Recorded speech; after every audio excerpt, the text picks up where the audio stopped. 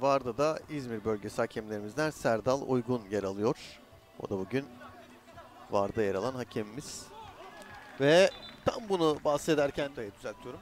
Şimdi hani bir kontratak şansı olabilir. Bu arada hızlı geldiler bir pas İskender'e. Kaleci müthiş kurtardı. İnanılmaz bir kurtarış.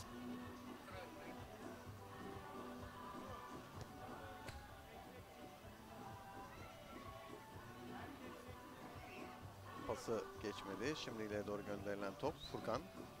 Furkan birebir oynamak istedi. Yapamadı.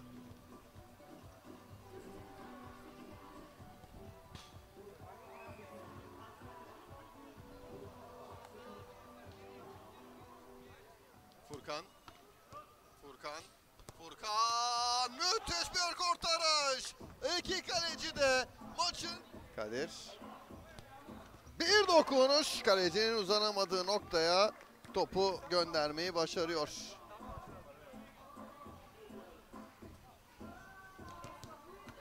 Ortada kaldı Mustafa. Fake'ini attı vurdu direğin yanından dışarıya.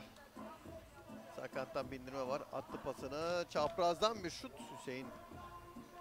Kesti. Seken top Soner'in önünde. Soner. Soner açardı kendisine. Soner bire bire gitti. Soner sağ kanada. Furkan şutu topu ağlara en son. İçe doğru top Hüseyin Ege bu pozisyonda da başarılı kalesinde. Soner.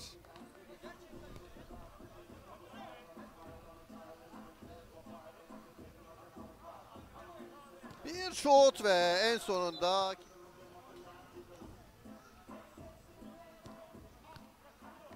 Şöyle bir önümüze hemen bir İskender topu ağlara gönderiyor. Furkan vurdu, savunma kapattı. Bir kez daha Furkan vurdu, kaleci kurtardı. İkinci pozisyonda top ağlara gidiyor. Bu golün de santrası